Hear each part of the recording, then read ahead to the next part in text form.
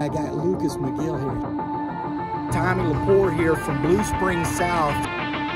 Brett Norfleet.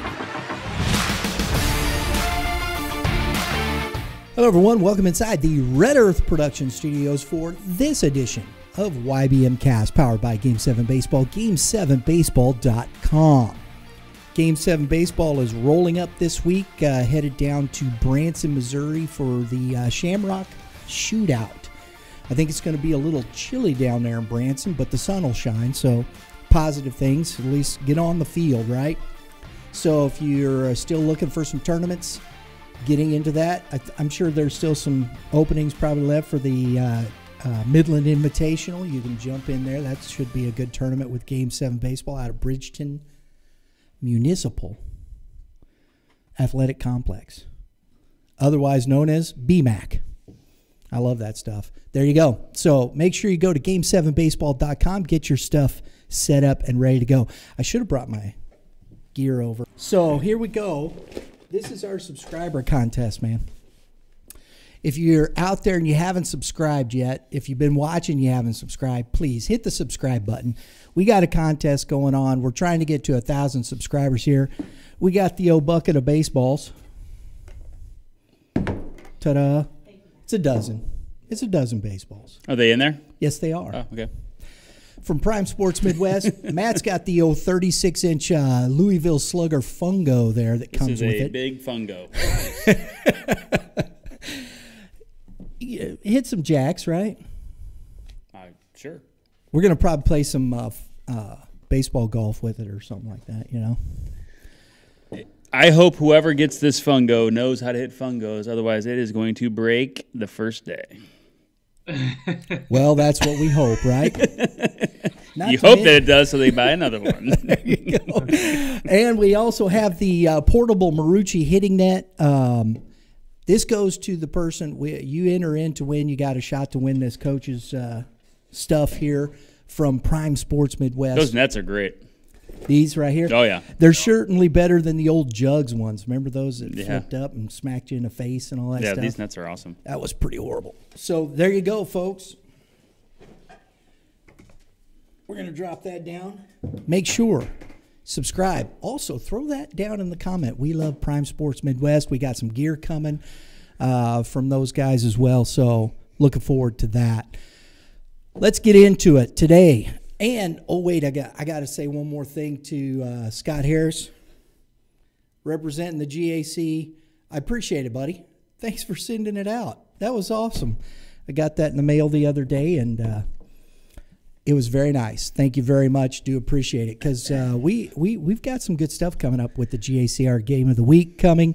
First one out at uh, Fort Zumwalt East, March twenty eighth.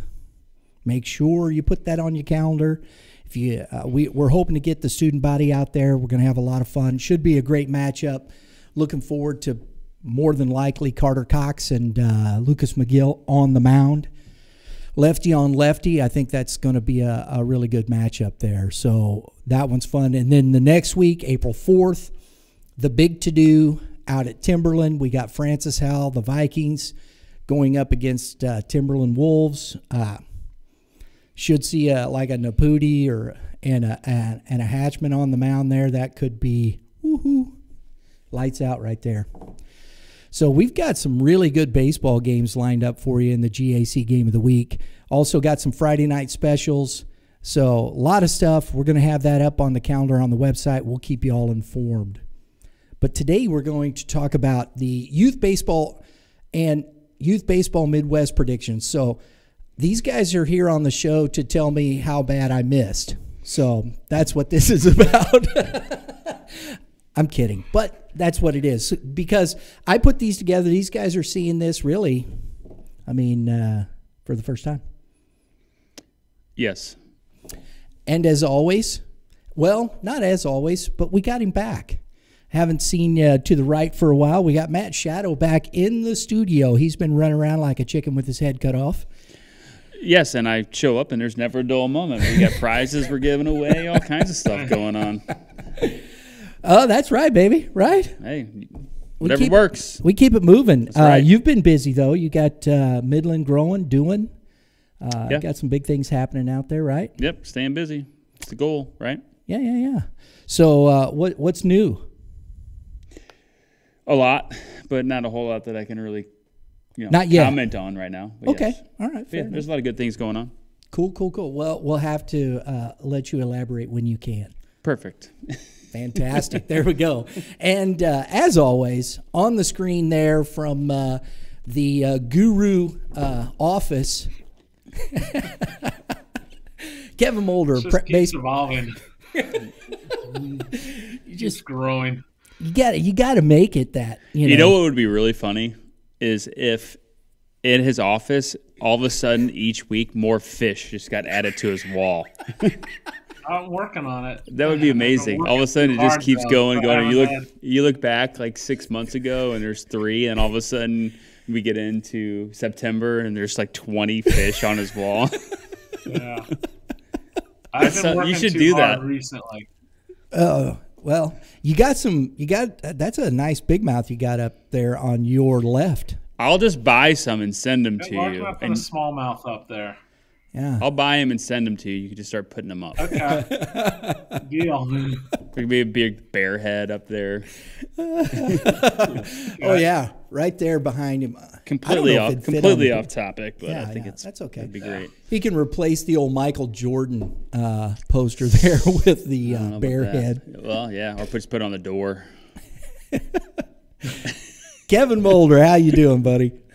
I am doing great. Two days away from opening day, and uh, yeah, looking forward to it. Absolutely. GAC, we have the North, the Central, and the South. And we're going to get into this. I got some predictions. You can go to uh, youthbaseballmidwest.com. Check out, I have three blogs up right now talking about each of these, uh, uh, the, the GAC conference in the North, Central, and South. Our predictions are all up there, and we're going to go through them today. Um, starting off with the North, and uh, I know this isn't the most um, known conference out there, but there's still a lot of good baseball, a lot of good teams, and we're adding the North Point Grizzlies, which I think North Point has a lot of good talent.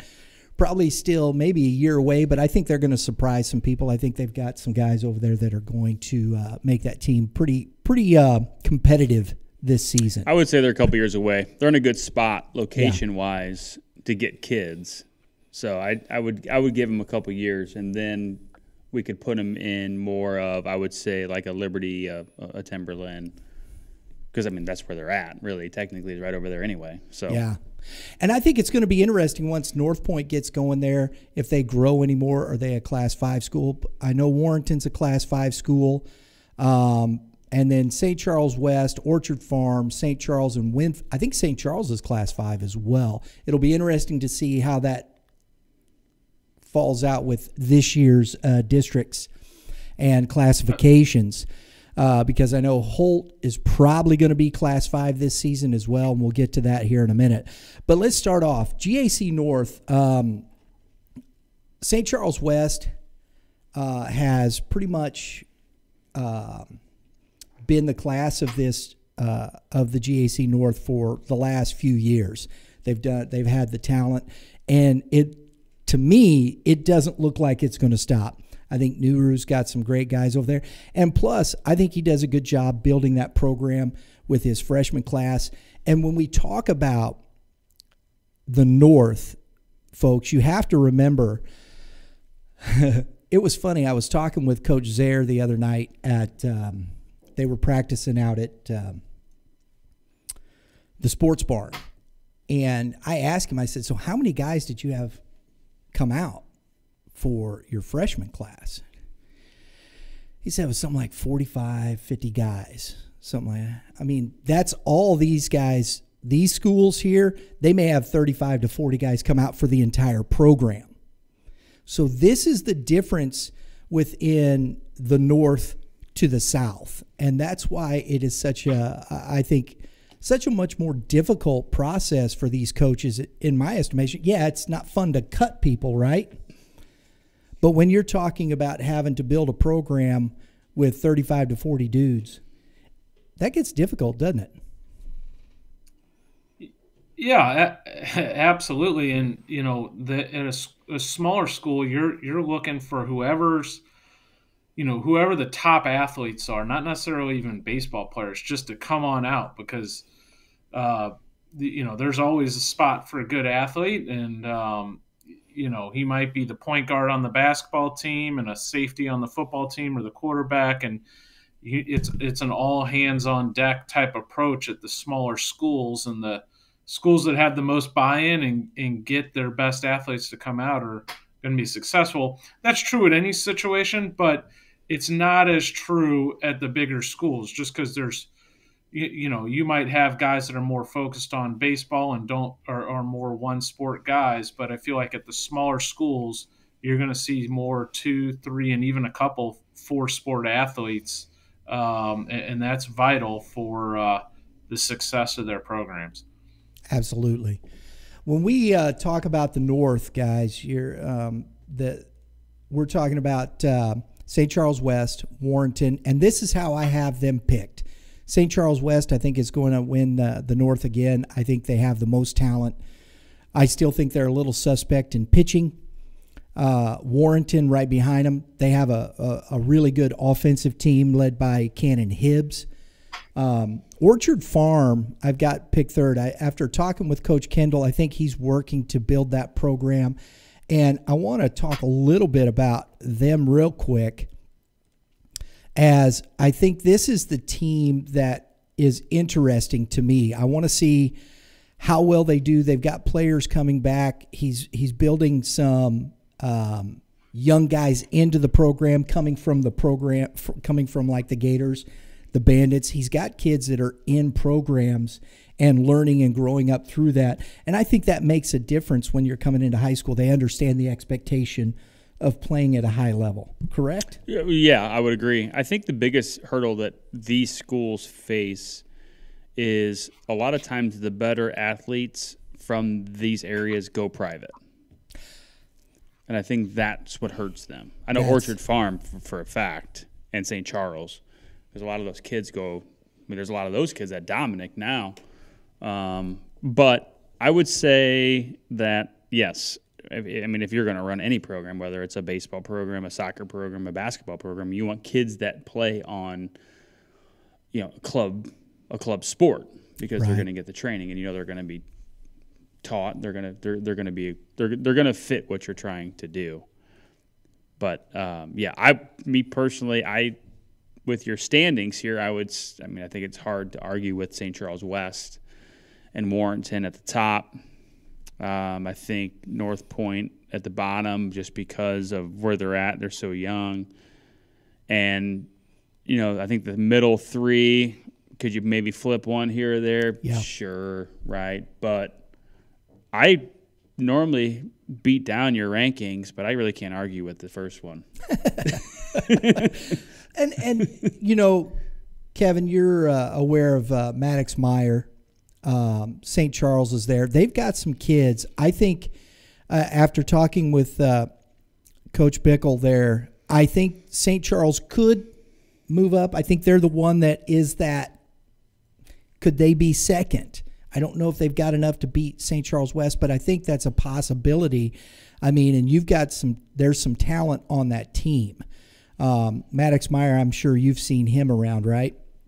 Yeah, absolutely. Yeah, senior outfielder heading to William Jewell. Um, that would be the one team I could see uh, making a run up the uh, the standings here. Um, you know, and who who knows? We haven't played a game yet. It's all uh, they'll, they'll play it out. But yeah, if I look at this, I, I look at St. Charles certainly has the pieces uh, to make a a move up those standings or on, on, the projections. But I certainly like St. Charles West in the one. Um, you know, they got one of the top young players in the area, Brendan Goring, who's already committed to Missouri. Uh, had a big freshman year for him, yeah. uh, and was kind of in a nice situation because uh, we had uh, they had, of course, Josh Newell, who's kind of the the leader, the star of the team, and and it's a good way for a young guy to break in. Uh, now the focus shifts uh, more to him, and it'll be uh, fun to see how he handles it. I'm sure he'll be fine, uh, but it, will be he'll be more the focal point of the team this year. When we talked with Coach Allen, uh, Brennan Goring is going to be a guy that is going to uh, he's going to pitch as well. And then the other two guys that you're looking at, Jackson Mears, who we saw last year at the GAC Classic, who pitched a really good game there, but he's had some up and downs. Noah Gramling. It's going to be what they can put together on the mound that's really going to, I think, take them into district play and have another run uh, at the Final Four in that respect. So the other part of this, It- off, it- go ahead. And I was going to say that's the other thing you you'll see at the small schools compared to uh, uh, the, for as per this conversation, the GAC South. Typically, the best players uh, are also going to pitch. Like Ben Brennan Goring is not going to pitch when he gets to college. He is a he is a bat, a really good one, but uh, in high school, his team needs him to step up and be one of it, their top pitchers. Uh, whereas you look at uh, you know, we'll we'll, we'll call out a, a Brett Norfleet, who is a top end talent on the mound. But if he doesn't pitch, Francis Howell's fine. They got all sorts of depth on the mound, and I could extend that conversation over to Howell Central, who has multiple uh, left-handers going on uh, to college with Braden Rubel and Wayne Harris, and we go down to Zumwalt West. Uh, same thing with Deverman. So, but with the smaller schools, if you got a stud athlete and he might be a, a shortstop or an outfield, it doesn't even matter. He is you're almost always going to see that kid as a number one or a two on his on his team as well on the mound. I also like what um, they're bringing back offensively from Drew Blassingame, who hit 400 last year, had two home runs, 25 RBIs. Disselhorst, Barrett Disselhorst, 375. Kyle Quinn, uh, Carson Quinn. Kyle Quinn hit 423. He was first team all conference. Uh, Carson Quinn, 313 RBIs. And of course, Goring, his numbers were pretty ridiculous, as, as he said. He had 469, 590, and an 859 slugging, five home runs, and 19 RBIs. We have the same conversation every year about St. Charles West because all their sophomores always play varsity, right? So it's like, hey, look at all the kids they have coming back, which is why they're always at the top because they always have kids coming back. And- like literally, we had this conversation last year. We're like, well, look at all the kids they have coming back; they're going to win, and we're doing it again because it's a mixture, and they just flow through. And kudos to Nuru. Yeah, right? Kudos to Nuru. And that's what uh, Kevin's always alluded to about building a Yeah. program, right? Yeah, and you're at a pri- I mean, you're at a public school. You only get what you get. Right, right. So I mean, give him credit. He's done a great job.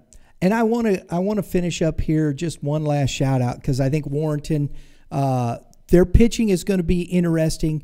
But again, uh, Cannon Hibbs, who we talked about a minute ago, but he's got a couple of guys, uh, three other guys that hit well over 300: Caleb Clark, Tyler Oliver, and Troy Anderson.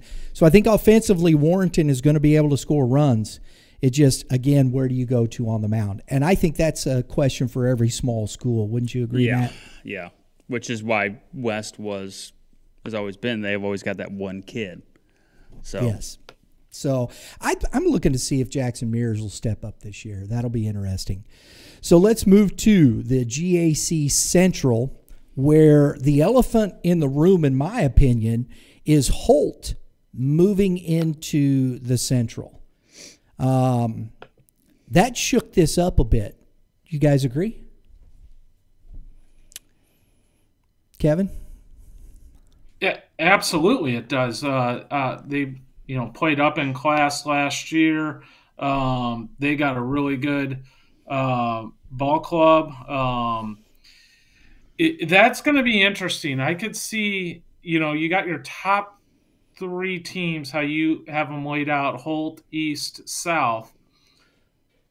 I- think this one is wide open between those three in particular. I could easily make an argument uh, if you put me if I was the their lawyer, I could easily make state the case for Zumwalt East uh, or South to be the champions in the Central. I think this is going to be a of the three divisions. I think this one's going to be the tightest race, and I think the most wide open between those, especially top three teams there.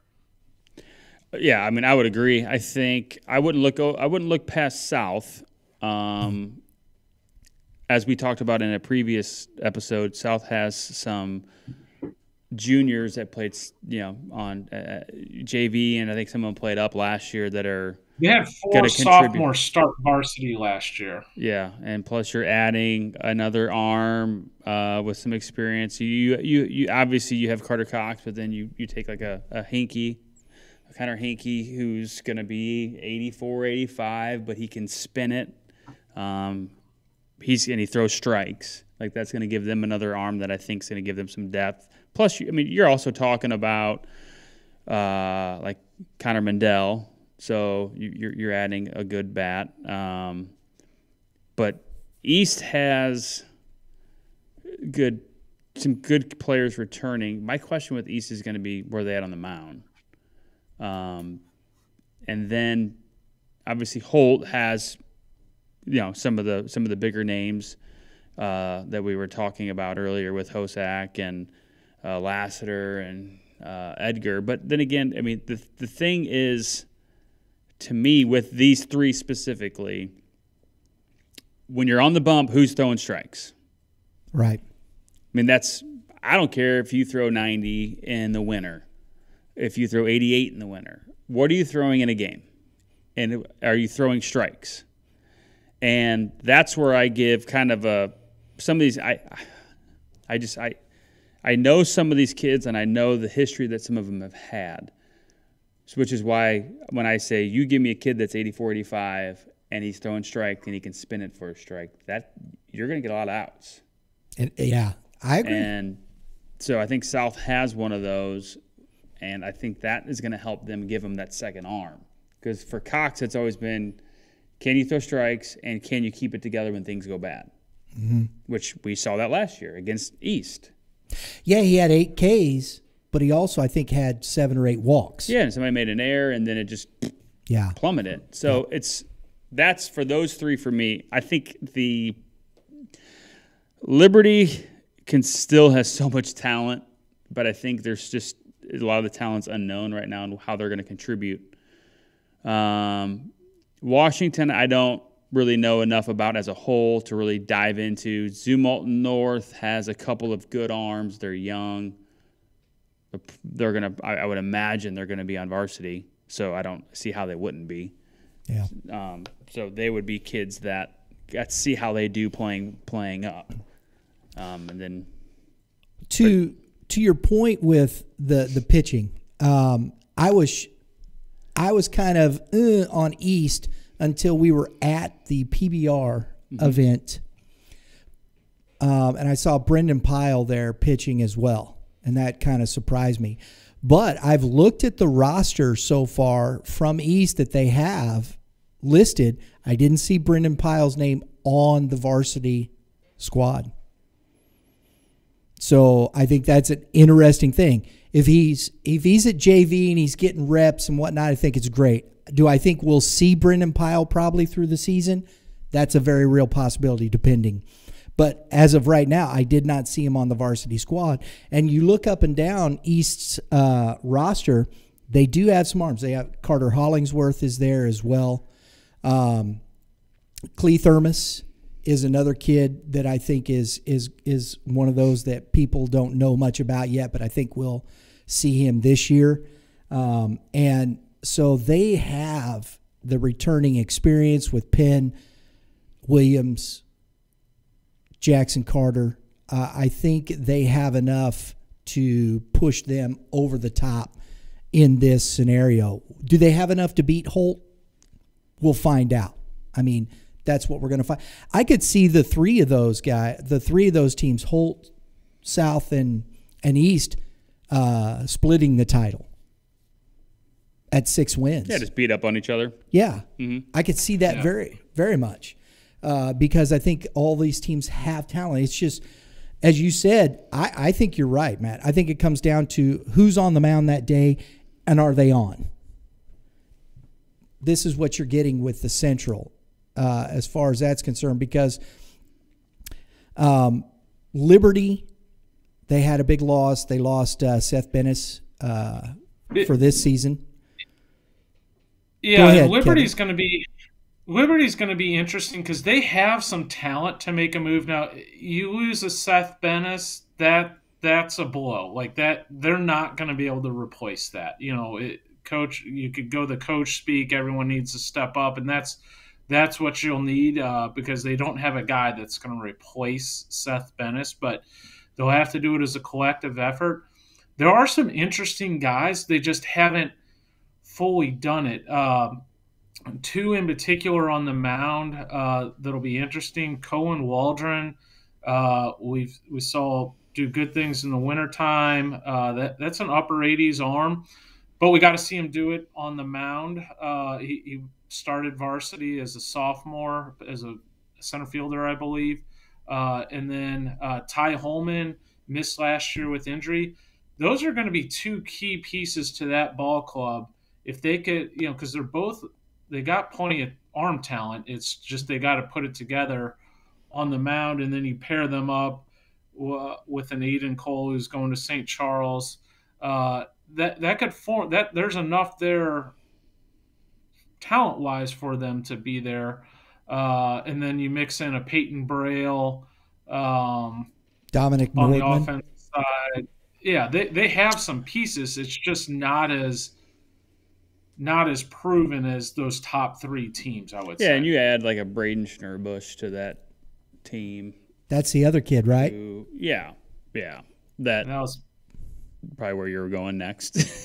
yeah, yeah, well, no, yeah, I missed that one. Uh, you know, there's a six five kid up to ninety. Um, that again, he fits in the same mold. He's just got to do it now. You know, he he's shown us. Uh, you think him and like a Waldron, and, yeah, him and a Waldron can, and I'm familiar with both of them. What what I think is interesting, and you guys can speak to this. Uh, when I talked with uh, Coach Reeder, one of the interesting things was that was his first year last year. He came in first year. This is his second year. I think he has a little better read on the players. I think they know him better. Does that make an impact on this squad? I mean, I, I think the difference, yes, that does. But I think the difference is, I mean, knowing your players is obviously huge as a coach, but their expectations were so crazy high last year, and they just, I, I, I think they they bought into it, and then once they fell, they fell. They didn't know what to do. Yeah, yeah. But now you look at them now, and their expectations are, I mean, they're they're you've got them as a four, right? Last year they'd have been a one. I agree. So I think that also changes the perception for them. But Kevin, the players got to trust the coach too, right?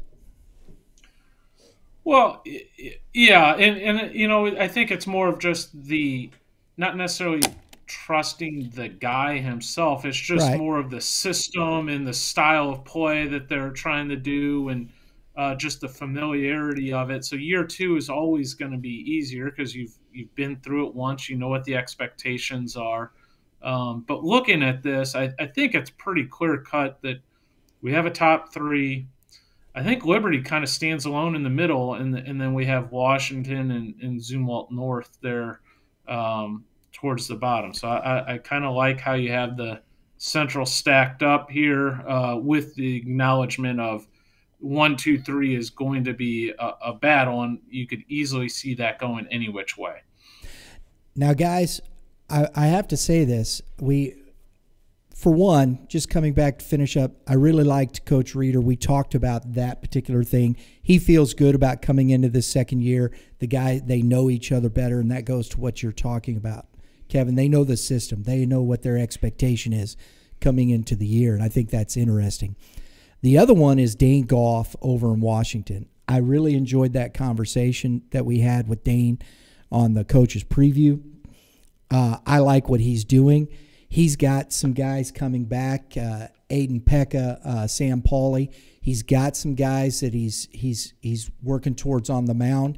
If anybody, if if Liberty and Washington can play, this could be a five team race. There's enough talent there. Washington was just hovering at that 500 mark last year, and you know that's what Goff's uh, talked about, Coach Goff talked about, is learning to win. He said we'd win a couple, we'd lose a couple, we'd win a few, we'd lose a few, and he said it was just that back and forth. And he says getting guys to learn how to sustain wins, uh, going on that seven, eight game win streak, you know, and not allowing certain things to overwhelm you. Correct? Yeah, well, that's for any team. Um, yes. But, but I mean, they could. I mean, they could. They could make a stand. They're they're they're facing some good teams. Um, I, the other thing is with like you take Zumwalt North, they haven't been great the last couple years, but Kevin's got. I mean, Kevin knows I got a kid that's a sophomore, Camden Loman, who, if he throws like he's been throwing all winter, he's going to be tough for any team, and he's only a sophomore. I mean, he was 91 in the winter. He's, he's sitting at like 88. He can spin it a little bit, um, kind of fine tuning some of the off speed stuff, but he throws strikes. So you're going to throw 88 strikes, and you can spend a little bit. He's going to give some teams some trouble. So they can't just say, "Hey, we're playing Zumwalt North. Let's just throw down." And that's the other thing that some of these top teams got to remember when you play someone like a, a North who has a kid, or Washington who maybe has a kid, or Liberty who some of the kids that we've named who maybe they come out of the gate and they're just gunning, they're great. That changes the perspective for those three teams of stating, "Hey, we can't just not show up for one of these other games Right. because you take a couple losses from a Washington or a Zumwalt North." Then that changes the perspective on who's actually going to be on top in the end. And Washington does have, I think, a, a pretty good number one in Gavin Matchell down there as well. Uh, I think he's he's he's verbally committed to Principia College, and this kid can play. He can pitch. Um, you know, and you you guys are each right. Everyone they each have a guy. One of the big separators, and this is true, um, you know, at any level of baseball, but I think it's magnified here at the high school level. Uh, I look at the top three teams in the Central that you have put down: Holt, East, South. What I like about those ball clubs is I feel pretty good about their defense.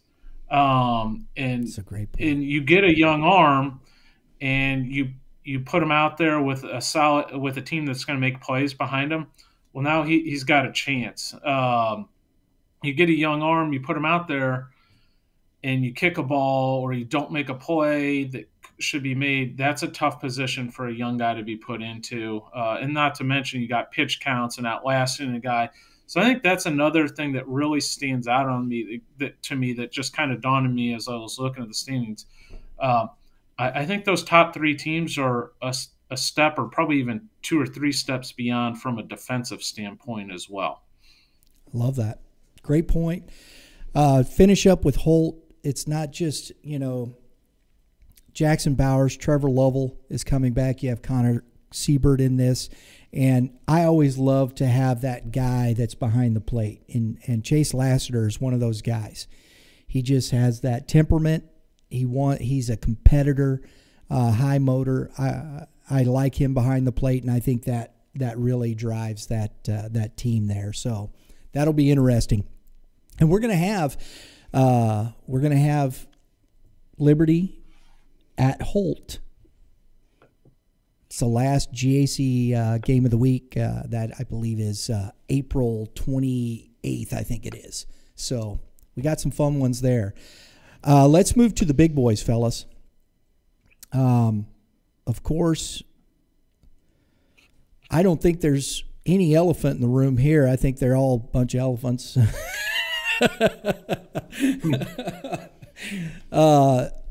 uh, when you talk about the GAC South, I think uh, you have one of the best conferences in the in in the state. Uh, teams that just have talent plus, and at the top of that is Francis Howell, um, Howell Central, and then uh, Zumwalt West, Timberland. Let's uh, let's start here with uh, the five and six. Troy Buchanan, Howell North. Uh, Coach Donahue's got to move back into the South there. We finally got Coach Donahue on the coach's preview. That was a really, that was a lot of fun. That, that the stories and stuff. Uh, he's a lot of fun to talk to. Um, how well do you think a North is going to be able to compete in uh, in this uh, division, guys? Do you want me to sugarcoat this, this, or do you want me say to be what you just think. straight laced not- on here? Be straight. Let's be honest. I mean, Yeah. they're in a terrible situation for where they are. Yeah. I, I, mean, that's. I mean, I hate to be the guy that says No, it, but no. come on.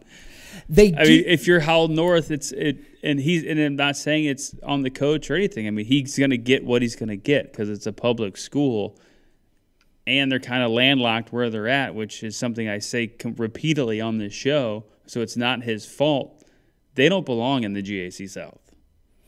yeah, it just ends up they're still a class six school though. That I, I that's fine, but it's I mean it's like the old days of suburban North where you had Normandy Right. playing against all the Hazelwood schools and the Pattonville and and at the time McClure's were good. I mean they're just they don't fit.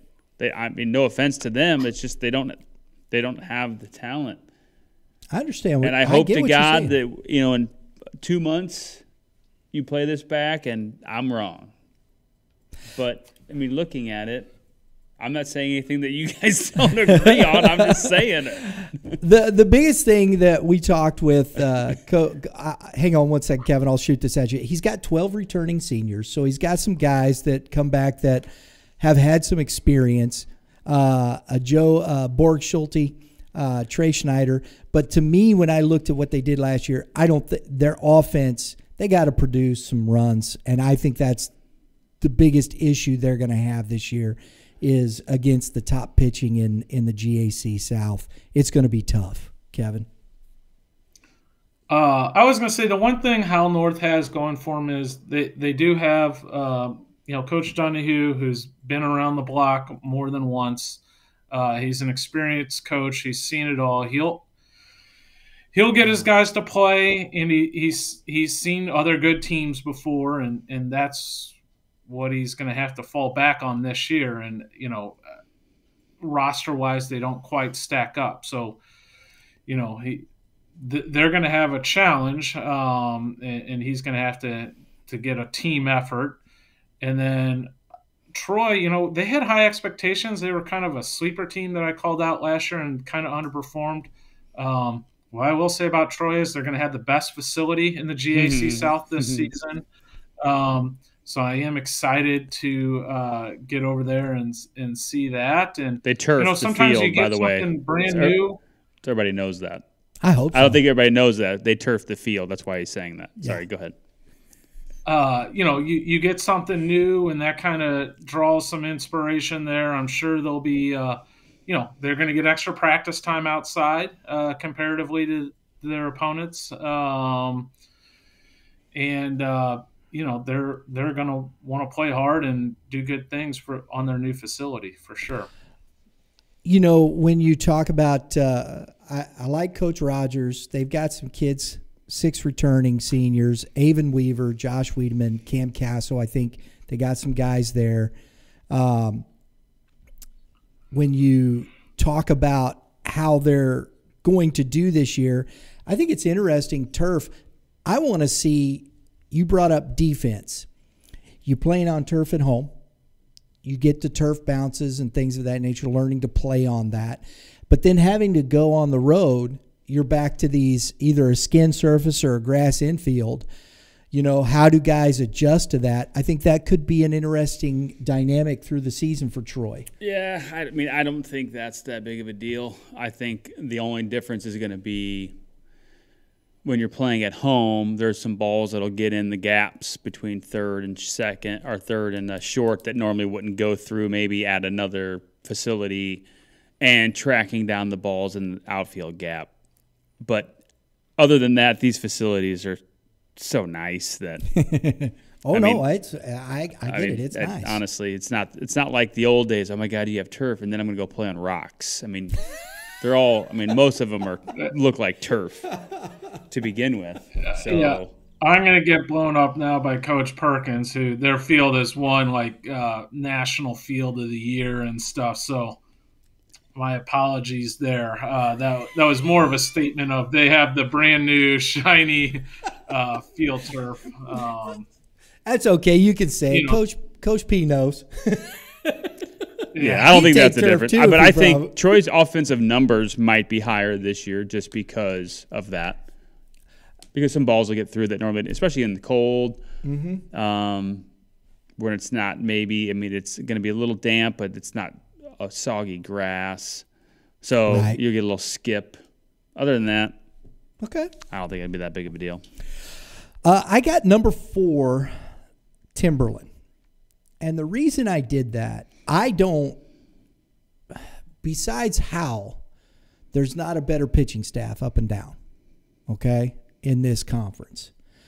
But from last year to this year, how do they score runs? They have guys, they have offensive talent. Um, I know I got uh, I got the old evil eye from uh, Carson McCaleb when I had him in the power rankings at seven. Man, he didn't like. He's like, dude, really? Come on, man.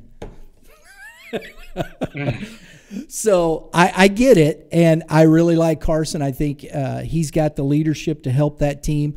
They've got Carson Ramos. Uh, both of those guys are going to be in that lineup. Uh, that's going to be huge for that team, and they've got some guys that can they can put runs up. Their pitching staff, if they stay healthy, this is a team that could win the South and probably be a Final Four team. That's the talent level. Kevin?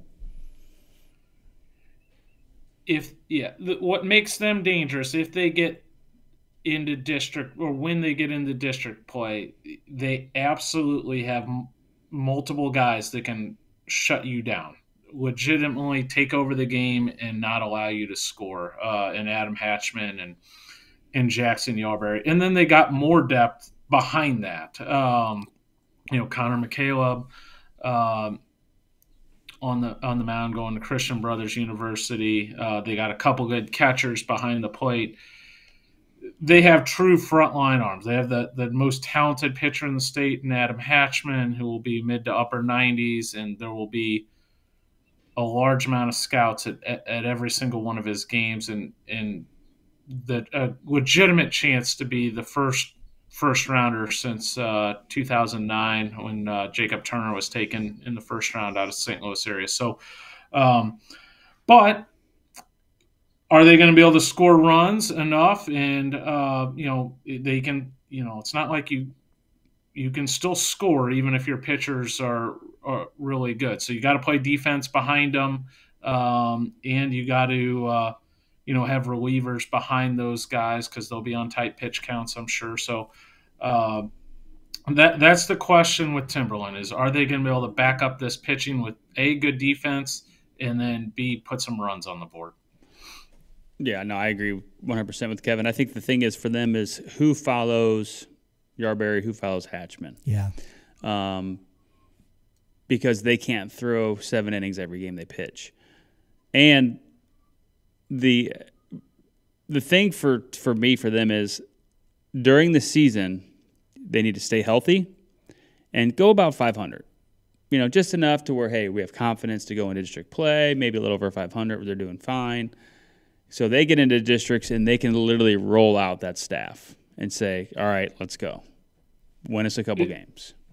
If they And they have another Power Five type arm in the pipelines now. They have a sophomore named Richie Swain uh, that's going to end up being another mid '90s guy. So they they got another one on the way. It'll be interesting uh, to see how they handle him. Uh, obviously, you want uh, any young player to be playing, uh, whether they have him up in a relief role or if he's, you know, throwing some of those weekend non-conference games, or if they put him, leave him on JV where he gets a consistent start. I, I don't, I don't know what their plans are there, but uh, certainly a big arm, um, another big arm for Timberland.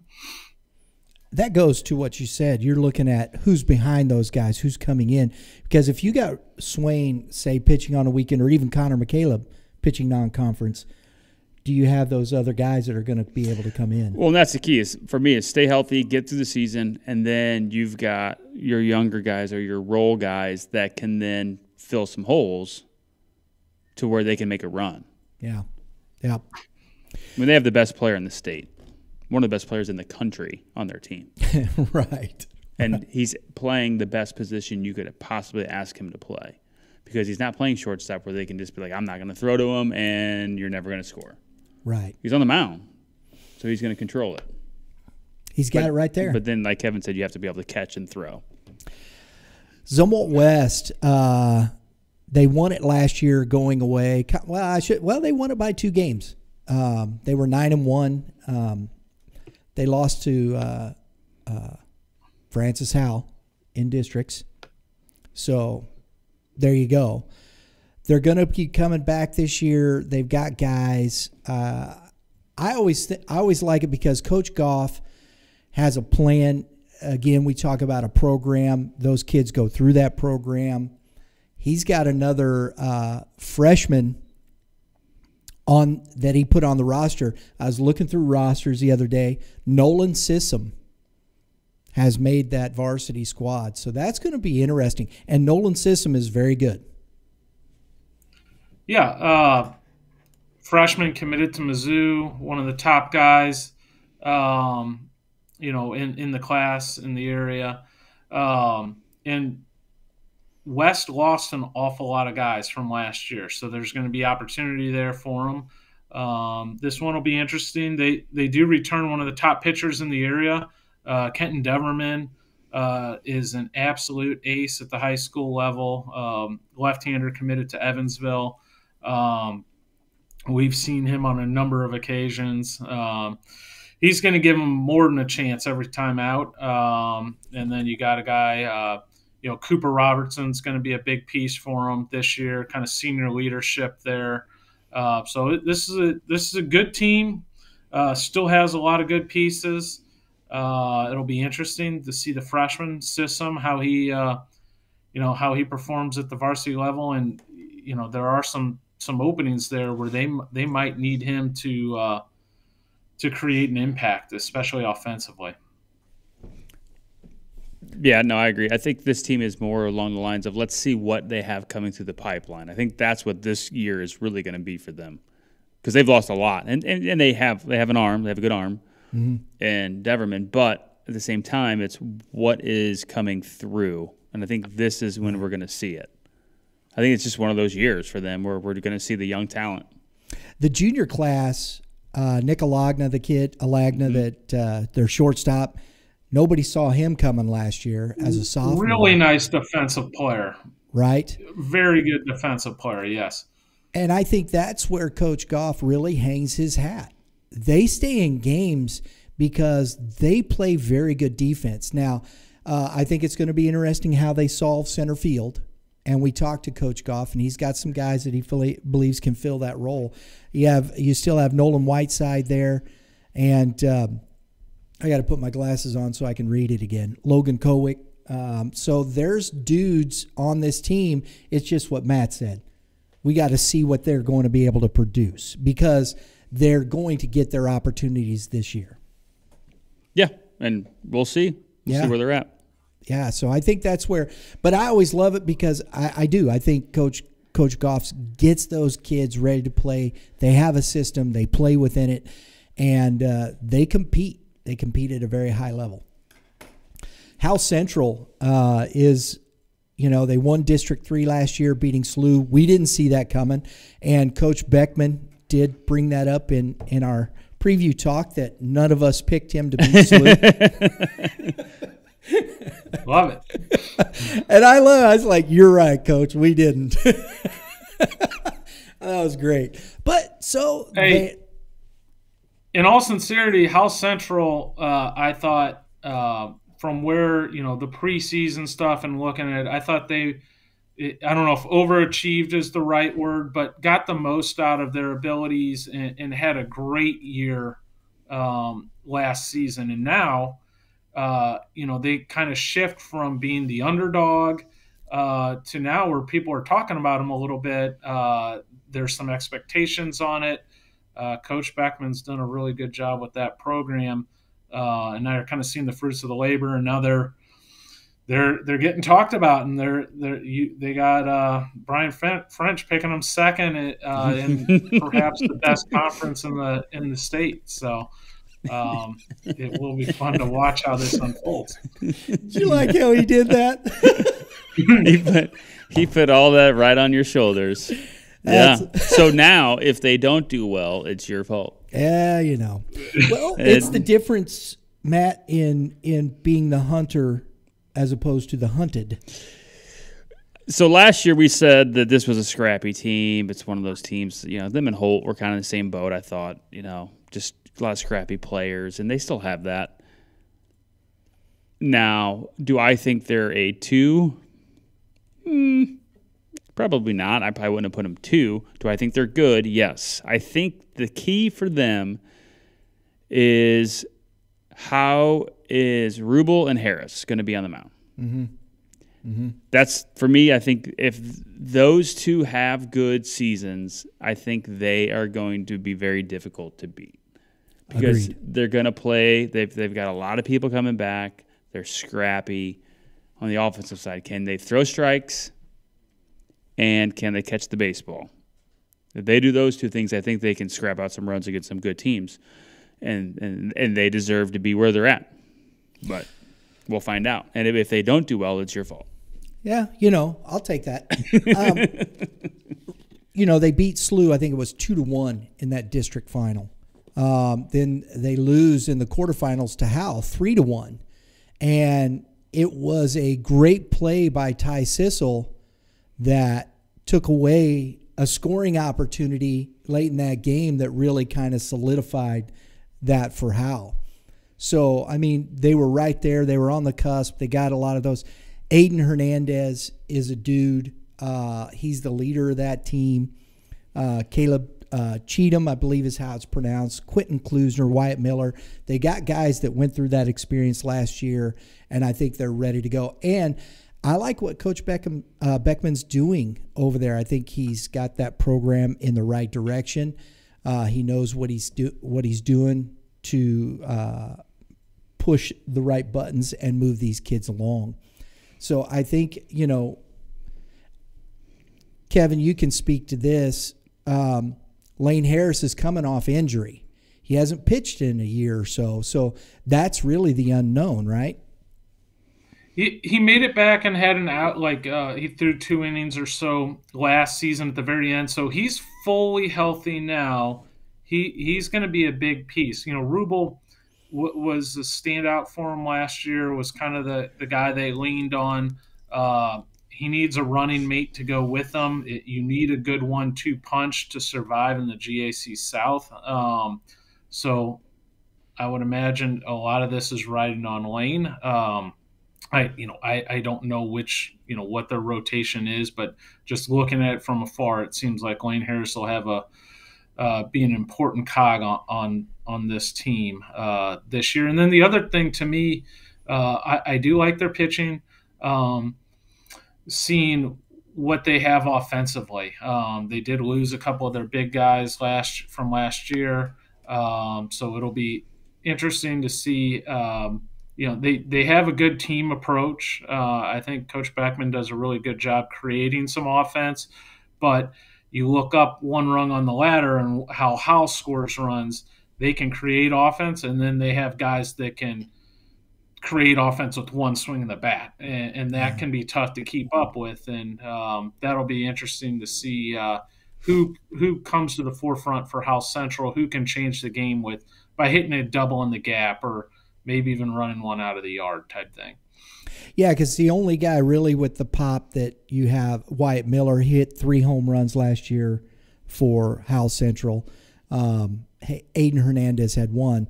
They got some run production, but like you said, you're you're put you're having to string some hits together. And those four guys from Cheatham to Hernandez to Klusner to Miller, who are you putting around that? And that's going to be the key to their success um, for for Central.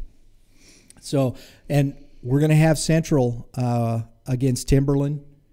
Uh, I believe that's on the 18th or the 11th. It's the 11th.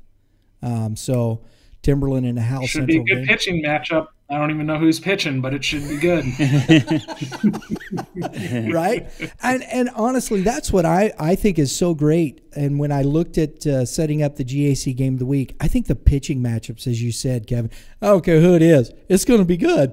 Yeah. right? Yeah. Because yeah. the depth on these teams is there. So I think it's going to be fantastic. I'm looking I'm looking forward to that part of it. Um, all right, guys. Matt, I'm going to throw. Uh, I'm going to how where do you want to start? I mean, wherever you would like. I mean, this. The weakness, man. Yeah. Go ahead. Tell us what you're not good at. We'll cover the rest. Thanks. um, you could go down the list of all the kids that are on this team, the coach. There's a reason why they're number one. There's a reason why they're preseason ranked regionally. Um, they also re- they did receive votes nationally. Yeah. yeah the thing is for them somebody can get hurt and they're still going to be fine. That's that's the key. There's so many good players. I mean they went into tryouts and i don't even think they needed anybody. So the point is for them i think it's win state or bust. Flat out because i think they thought they should have won it last year and they didn't. And what is it liberty north in yep. kansas city? Yep that's the other yep. big powerhouse in the state. I think for Howell and in Liberty North, for both of them, it's win or bust. And I, I look, they may have a down year because expectations are so high, but I highly doubt that's going to happen. There's just too much talent. Um, they're going to lose some games because they're going to play the best schedule that they can possibly play because that's what he does and that's what he should do. The only downside to this team that I would say is if they get a matchup against like Timberland round one of districts where they have to play against Hatchman. But they're so deep in a lineup and they're so good defensively and offensively that I think that they could hold like team like Timberland 2-0 runs and scrap out like one over five and work a pitch count to get them out. So that's because it's a team. There's you can go a million places with this right now. right? Right. You can. But they're just I, for me for them it's win state or bust. I don't think I think if they don't win state that it's going to be considered a down year for them. Kevin. Uh yeah, um just uh we'll, we'll have our uh preseason poll on Friday, and I'll do a little spoiler here. They're going to be our number two team in the state to start off behind Liberty North, uh, the defending champion, and and as Matt alluded to, they're regionally ranked. Um, you know, they're one of the best teams in the Midwest. Uh, I would I would say they wouldn't fall out of the top ten in the Midwest if we're talking who are the top teams. There's a lot of talent here. Um, and yeah, you, you, hate to say it, but you know this team has you know Final Four, state championship or bust type thing. Now you look at their district, though it, it will be a challenge just to get out of the district still because you could still run into some really good teams or a really good arm. Um, but this is going to be a fun team to watch. You know, uh, returns after hitting over 450, leading the state in homers with nine. Uh, you know, I know he's a great football talent heading to Mizzou to play football and baseball. Um, you know, he, he might generate some uh, pro interest this spring as well, just with his raw power. Um, you know, he's going to be forced to make a decision, I'm guessing, sooner or later on baseball or football. It might be a year or two into college. We'll, we'll see. Um, you know, Bryson Naputi is going to be a fun follow this spring. The you know one of the top two way guys in the area. They they you know he's either their one or their two, and uh, huge piece of that offense. And then you got young guys coming through too. Uh, Leo Humbert started for him as a freshman. Uh, now has his feet under him, and, and will be a sophomore. I can only imagine the jump he's going to take. Um, and, and, they have other good young players uh, that you know, coming into the program, a guy like Jackson Vaughn, I, I believe, made their varsity team, a yeah, sophomore outfielder.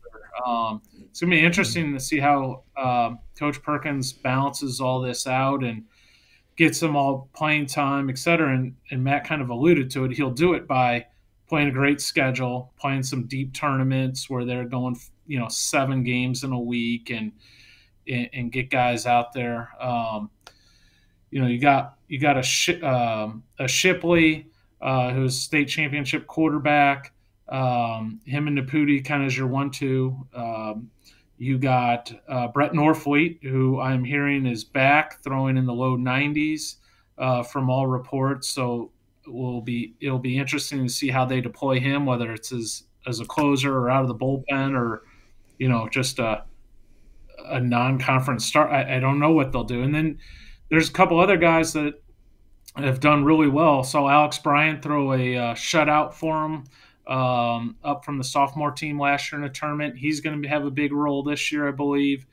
Um, you know, and so Alex they, they got a Bryan- lot of. Alex Bryan looked sorry? good. Alex Bryan looked good at that February event too, didn't he?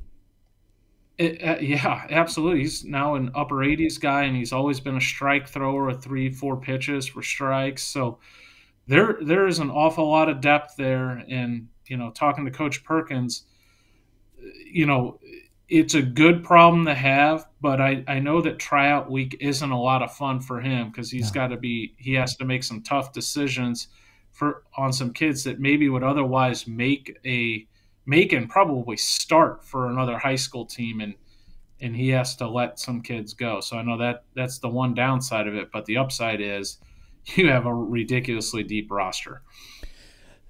to Kevin's point as far as the depth in pitching, and that's where, you know, I do give Timberland the edge a little bit, but I think what sets Howell over the top over everybody is they are nine deep on offense. As you alluded to, they don't give you a break as a pitcher. You have no breaks in that lineup. Uh, I, And yeah, I- would agree. I would agree, but I would also don't slout them on the mound. I mean, No. they're probably ten deep on the mound. Right? So, I mean, they could do the old club baseball prospect of, hey, you're going to throw three and get out. You throw three, get out. You throw a one, we're done. You throw two, you throw two, you throw two, you throw a one, we're done. It's brutal. I mean, they could they could easily do that for two games in a row. That's what I mean. And there's no, and that's why, you know, you have that. And like I said, we talked about Timberland, we talked about Howell as far as pitching, Howell Central, excuse me. Well, they're just as good. And as you said, depth. The thing that, that sets Howell and why I think they probably will win state, even over Liberty, I don't know, but this is my thought process, is that offensive firepower. Somewhere, somebody's going to, you get a walk uh, and Perkins, he figures out how to scratch runs across. And if you can't handle that, then boom, something happens and they're scoring three, four runs in an inning. And they've got enough pitching, as you said, to shut the door. Yeah, I mean, the good pitching always stops good hitting. Always. That, that- that's how it's always been. It always will be. Which is why you take like a Hatchman mm-hmm. can shut him down for a certain amount of innings until he has to come out. But either way, point is, I would say they have depth on the mound too. They, I mean, they're just they have depth everywhere. It's just, I mean, like Kevin said, you take a kid that got cut from this team, he would probably make and start on another high school team Absolutely. in their conference. Yes. That's the other thing. Yeah. So I, I agree. I mean, uh, you know, I think there might there should be a draft after those cuts to see if like Coach Allen and, and all, all the guys from the GAC North want to step up and and set up a selection draft. You know, for transfer portal. I think they'd go for it, don't you? Yeah. Good one. So, guys, uh, I appreciate the information. I thought we were pretty good. Uh, I mean, I, that we may miss on a few. This is what it is, but I enjoy talking about it. I think the GAC is one of the, as I said, one of the best conferences in the state, and uh, we're going to have a lot of fun watching uh, the GAC this year. We really are. Um, we'll be back next week. Uh, we'll definitely have Mr. Uh, Moulder's rankings out next week. And I do want to touch on, you brought up the suburban, St. Louis Suburban Conference. We're going to talk a little bit about that. We got, we're going to wa- look at some teams around there, the MCC. Also, we, we, there, uh, we're going to have that up on the website. We're going to start following. We have the suburban conference up on youthbaseballmidwest.com. All the teams in each division. Um, so yes, Normandy is not in that, and they've split it up a lot, like what the GAC has done, and they move teams up as far as classifications and things. So I think it's done very well. Uh, we got uh, the old rivalry game uh, going to be uh, for uh, Kevin there. We're going to be out at Baldwin. I believe it's April 25th uh, for Kirkwood versus Webster Groves. Uh, we're going to live stream that one. That's always a fun one, isn't it, Kevin?